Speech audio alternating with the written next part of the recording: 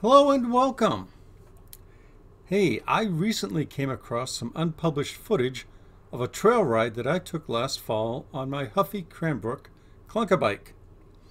Now, autumn is definitely my favorite season, and since it's so cold and snowy here in Maine as I record this, I thought this might be a nice look back at some slightly warmer days. But before we get too far along, let me recap the bike's specs. As I said, it's a Huffy Cranbrook. I bought it off the floor at Walmart for $88 and almost immediately I began stripping it of any parts that it did not absolutely need. Now my intent was to make a clunker bike like the very early mountain bikes. And if you want to learn more about those early days of the sport, I very highly recommend the movie Klunkerz, and that's Klunkerz with a K. I believe it is still available on Amazon Prime, and uh, there is a link to the trailer on the description.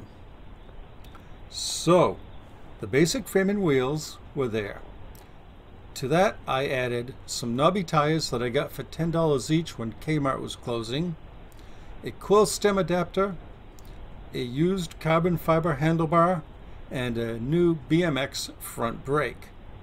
And I suppose in some respects, this modern clunker could be thought of as a rigid, single-speed mountain bike, as well as a nifty cruiser. If one is very generous in their definitions. On this particular day, I was riding at the Hallowell Reservoir Trails in Hallowell, Maine. In a previous video, I showed another part of this ride on a trail called the Bucket Trail, which included some climbing. Now, I will be honest, this bike is no more geared for climbing off-road than it is on-road. So yeah, there was some hiking involved.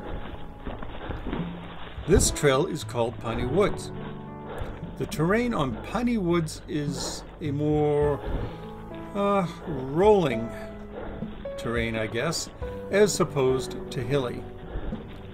That makes this a great trail for this 45 pound single speed bike. And on a couple of occasions, I have brought new riders here for an introduction to trail riding because it is fairly, uh, fairly easy. And I wish, I really wish that YouTube was able to convey the intoxicating aroma of the woods to you. This trail really does live up to its name in this respect. I just love the smell of the woods in autumn, and in particular, the parts that run through evergreen stands.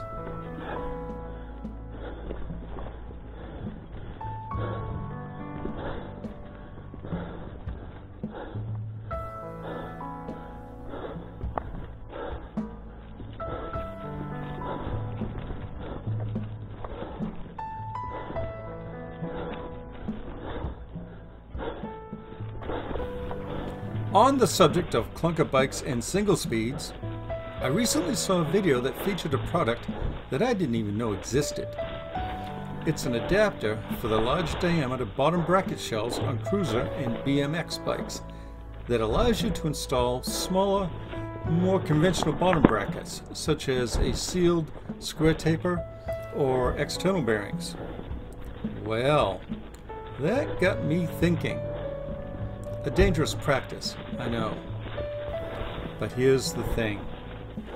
I have a couple of spare riveted triple chainring square taper cranksets that I currently have no use for.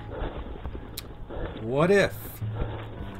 What if I got one of those adapters and installed a triple crankset on the Cranbrook? It would technically then be a three-speed, I suppose, and a 22 tooth small chainring would definitely make climbing a lot easier. In fact, you know, I think I'm going to give this a shot later on this spring, just to see if it is actually doable. Now, keep in mind, I said doable, not practical. Big difference.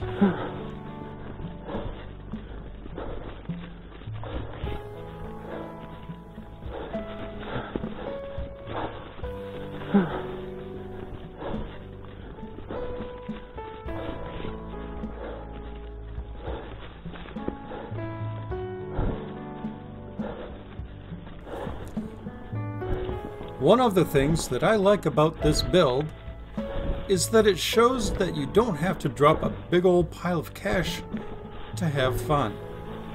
I have been and I remain a fan of budget-friendly bikes. Now, I know budget-friendly can mean different things to different people, but I think you see my point. I was able to keep this build under $140 with some careful shopping and reuse of components that I already had on hand. However, I noticed that as of February 15, 2021, the Cranbrook was now listed for $170 on Walmart's website. That's more than I've got into this entire build.